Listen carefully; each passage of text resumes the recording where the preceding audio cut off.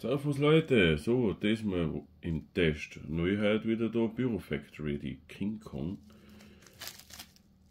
Sind halt 5 Stück Böller in Klasse F2 drin, in 30 Gramm, in 5 Stück. Und lassen wir mal auf da das Ding.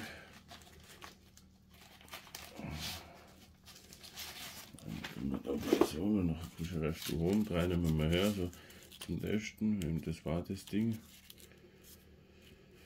Wir nehmen 6 Gramm.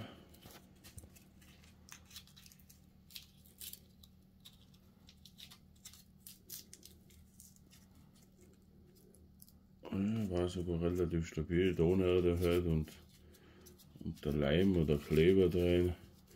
Und da wird es nicht anders ausschauen. Ja, da also Gips oder was, ne? Ja, aber ich darf sagen, den wir gar nicht lang rum und auf zum Test. So, noch die normalen.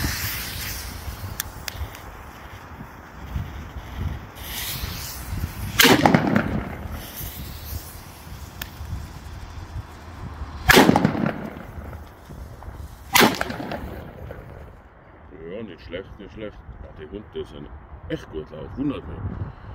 Die Büro Factory sonst immer ein bisschen Problem gehabt bei Buller. Aber nachher kann man nichts sagen, passt. Und das war's gewesen. Bis zum nächsten Mal und Servus.